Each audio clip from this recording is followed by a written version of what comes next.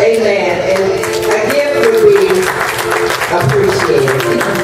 Also, I would like to have um, Justice Hill, Daxton Hill, and um, let's see, where is he?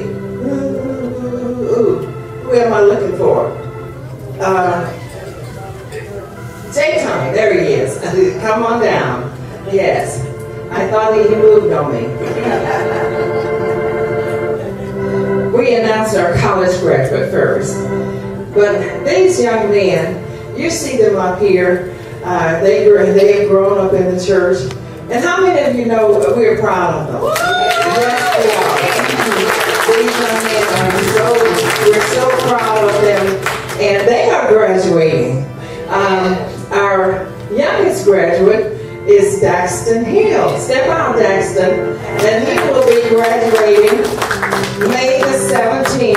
from Deborah Brown Community School. And he will be going to Carver Middle School in the fall. Amen.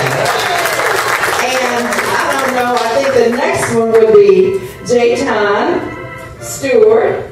He will be graduating June the 7th from Eugene Fields, and he will be going also to Carver Middle School. Amen. Congratulations. Praise God. These are all football stars as well.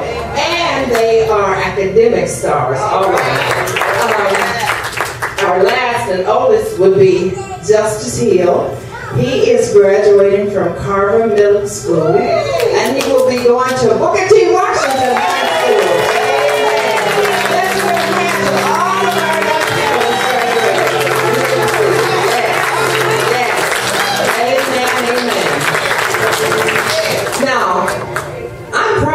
young people because they could be in detention somewhere.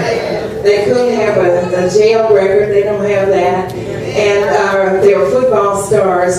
And we're just going to ask you to keep that record as you go to your next school. Amen? We're not expecting to get any bad reports from you.